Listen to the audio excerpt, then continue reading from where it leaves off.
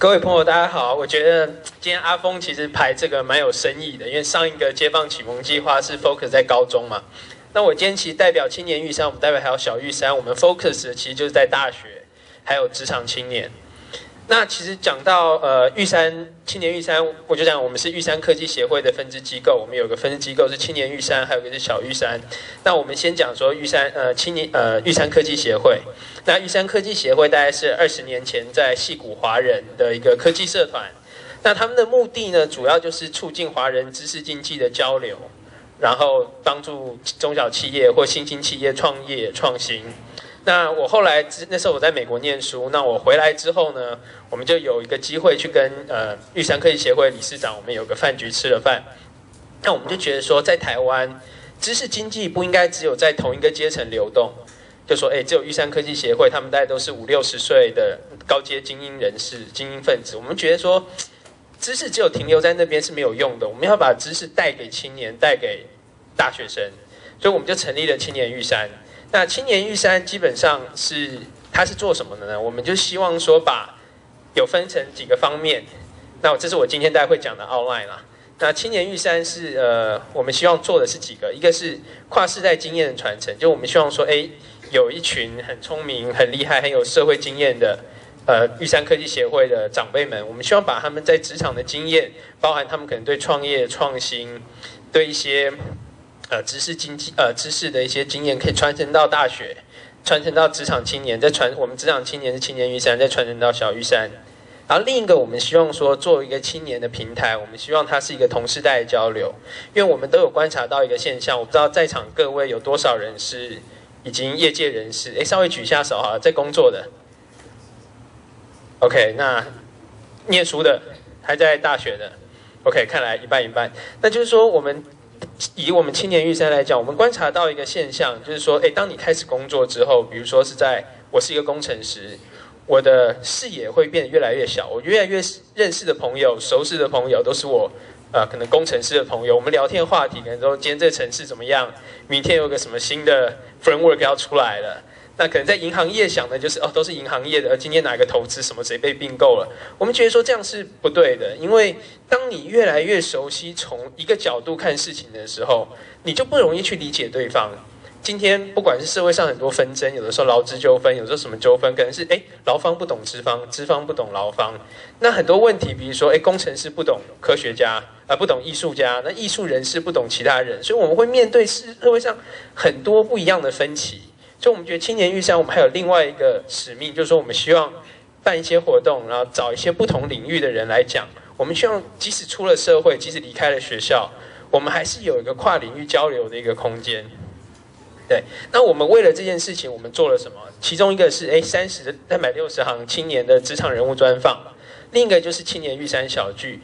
那职场人物专访呢，我们是就采访了，不管是公务员、会计师，还有很多不同的职业，因为我们会觉得说。很多大学生，刚刚在座很多大学生，比如说可能有的是 double E 的，好了，你们真的知道，比如说进台积电工作是怎么一回事吗？很多人其实完全不了解，都觉得哦，好像很酷，台积电、联电薪水很高，但是他们根本不知道他们要做的是什么，可能分数到了，申请上了就去了。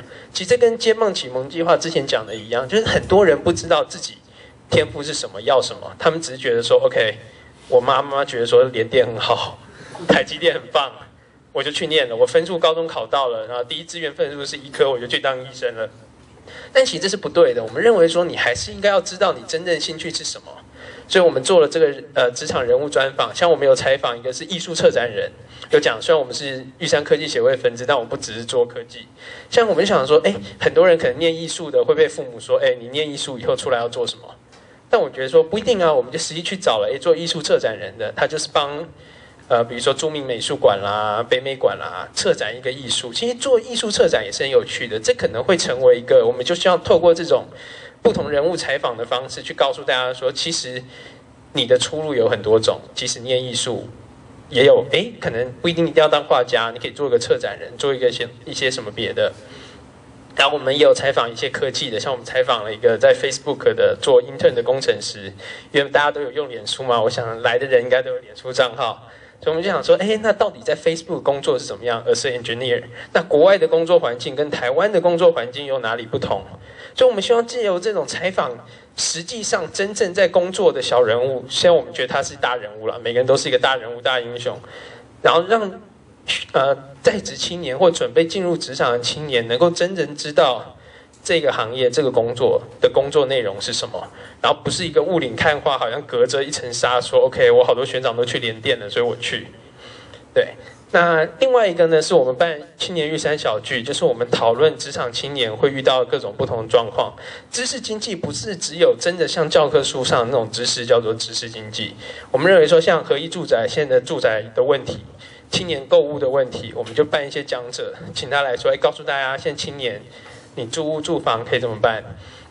啊，像我们谈两性职场，对，就是像有青年感情会结束的，对对，都有可能。所以我们就觉得说，哎，青年感情问题其实很重要，因为现在那么多人晚婚啦，很多三十岁单身啦，这其实这也是一个青年很重要课题。那当然，这就不只是我们认为这也归类在知识经济，因为情场呃情绪 EQ 对你也蛮重要的，对啊。然后还有创业，这些是我们更要做的，就是我们希望。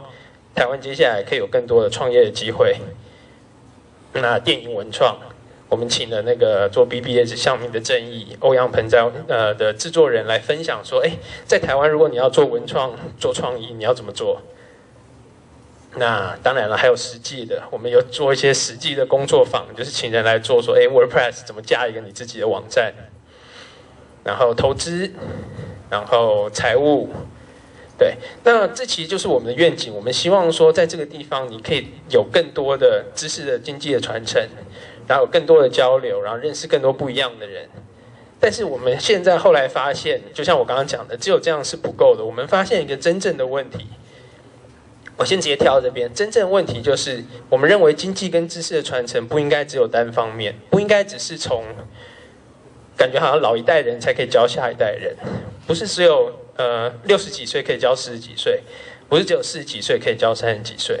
我们认为更重要的是一个经验的沟通。我们认为现在世界世界呃社会上有很多问题在于世代之间的不了解。那我们玉呃玉山科技协会最好的方的一个优势是我们有。老一辈的青呃玉山科技协会成员，我们有职场的青年玉山，我们有在学的小玉山，所以我觉得我们接下来要做的，就是我们接下来要做的，就是我们希望这边变成一个跨世代沟通交流的平台。我们认为我们需要让五六十岁的人知道学生在讲什么，职场青年在讲什么。我们也希望让他们知道说，职场青年他们看到的东西，跟学生看到的东西，也有可能教老一辈的人。告诉他们说，其实我看你的世界，我比你在很多地方可能比你还熟。网络科技，我们可能在一些文创艺术的地方，可能比他们更知道要怎么做。因为就像之前讲的，你可能五六十岁，你的价值观已经死了。那我们认为这个沟通的流动是必要的，所以我们又做了一个 OK，我们要做一个青年玉山的沙龙。我们希望在这边会邀请。玉山科技协会或其他公司的董事长级的人、总经理级的人，跟第一线的职场青年，然后再跟在学学生，我们在这边要做一个 mix。我们希望让大家真的知道说，哎，世代的对话，你们要做什么？就说彼此之间的沟通问题，我们要真正在这边有一个交流去解决。啊，这就是我们对于世代的看法。我们认为说，很多人说现在世代竞争。在战争，我们没有，我们觉得这世代要互相学习、互相进步。那当然，就这样就可以回到过来。我们接下来就想做说，哎，有沟通、有进步。那我们也是希望说，哎，成立一个天使创投基金。如果你有沟通、你有进步、你有想法，你真正想要改变些什么的时候，不见得只是商业，有可能是 NGO。我们会有一个天使创投基金去协助这些人。那我们也会有个导师计划，就是说，哎，如果你觉得说我需要的是金，呃。前辈的视野高度的时候，我们会有个导师计划去告诉你说，哎，那我们会找这些，比如说高阶总经理去带着你说，哎，你看我们在高度企业的高度是怎么看事情的，去培养职场青年来接班。对，那这个大概是我们呃青年预算的部分。那我们待会会说。青年玉山，如果用一句话来讲，就是一个经验传承、交流拓展，还有个跨世代沟通的平台。那当然，创业创新，这是我们玉山科技协会本来就一直会做的事情。那我们接下来把时间给我们的小玉山，他讲的会是大学部的部分，就是说给很多还在念书的学生他们要做的事情。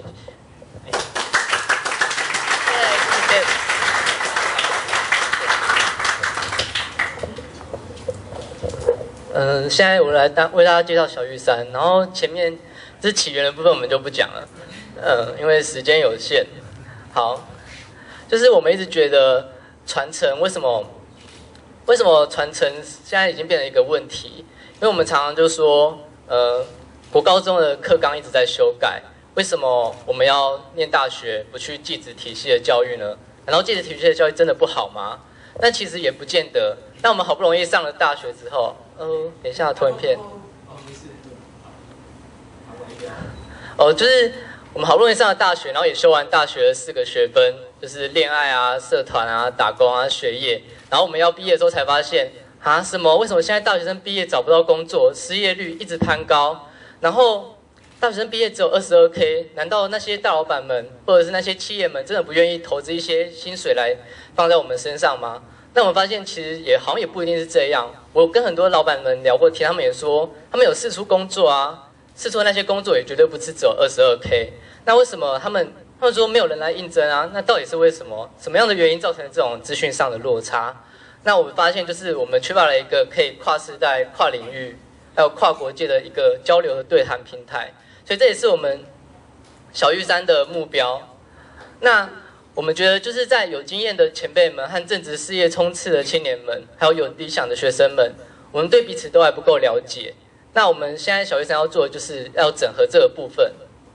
那我们先讲到跨世代，就是我们小玉山会有一些活动，像是与里监事有约，还有玉山小聚，我们常常可以出席像这样的场合，然后和一些四五十岁、五六十岁的企业老板们有一些近距离的沟通和分享，甚至是发问。那我们也会有像是。产业沙龙，像是我们去年有邀请到活动通、Who'sco、EasyTable，就这些属于比较青年创业的部分。那我们也可以跟这些青年的创业家了解，说他们在这创业的旅途中，他们有哪些遇到哪些挫折、哪些经验和哪些心得。那所以在老年、中年，就是还有年轻人的这三个领域，我们都有做到跨世代的，就是涉足。那再来，我们讲到跨领域。那我们暑假会办一个活动，叫 CTY。那 CTY 参与的学员不只是商学院、理工学院，还有文学院、社科学院、法学院，我们甚至包含了生医、农学院等。就是我们参加的学员是跨展、跨跨足非常多领域的。那如果你参与了这个，就是你加入实习生之后，玉山科技协会的会员也是在各个领域，不管是产产官学界。那甚至只要你愿意去寻找，你一定可以找到一个人，他的工作是和你的兴趣、你的领域有相关的。那再我们要讲的是跨国界，玉山科技协会在全世界有十七个分会，分别在香港、深圳、新加坡、美加地区，还有我们台湾。那今年暑假的 CTY，我们跟南加玉山那边有过一个合作，就是他们将会派 UCLA 还有 USC 和 Caltech 的学生来参与我们这次暑假的。CTY 的这个营队，那我们最近还有在拟定一个叫做实习生的跨国交流计划。透过这个计划，我们可以让实习生仅需支付机票的费用，就可以到其他国家和玉山分会进行一些交流。那食宿的部分也会就该地的协会来负责。嗯。好，那我现在介绍一下 CTY 九。好，只剩下一分钟，那我快速讲过。就是我们会有三场赢钱工作坊。那第一场，我们预计邀请林之诚来我们讲创投与创业者之间的关系。第二场，我们会请雅虎奇摩企划总监来为我们讲如何做出一个吸引人的简报。第三场就是和焦点合作，举办一个创业沙发。那引起我们要邀请五位讲师，其中已经确定了其中四位，分别来自 Google、Line、IBM 和达摩媒体。那第五位，我们预计邀请梦想学校的王文华先生。五十七秒，好。那我们还有一个活动是产业沙龙。那目前我们已经着手邀请以下这些团队。那其中奖金猎人、城市浪人和艺术星很多的团队我们都已经邀请到了。那这些团队中不仅包含了像是。像是一些社会企业啊，或者是非营利组织，我们都有都有就是涉足，就包含在里面。那再来是创业竞赛，今年我们将与 Taipei Angel 合作，那 Taipei Angel 也会派遣一名业界的资深顾问担任我们，就是这个比赛中第一名的，呃，就是第一名的队伍，他会让他去做担任他的 mentor。那如果指导顺利的话，可能就会不排除投资的可能性。那再来是今年首创玉山之夜。那玉山之夜我们会邀请三十到四十位企业界的高阶领导人，那他们会在这个场合中跟学员有一些近距离的分享，甚至是一对三、一对四这种非常近距离，而且一就是非常近距离的分享。好，那未来展望就先不讲了。好，那不管你愿不愿意来参加这个活动，那我觉得就是来到这里，你不只可以改变别人，就不止别人可以改变你，你也有机会改变别人，把你的想法让所有人都知道。那报名 CTY 就是踏出你的第一步，来这边改变你自己。好，谢谢大家。谢谢，谢谢 J。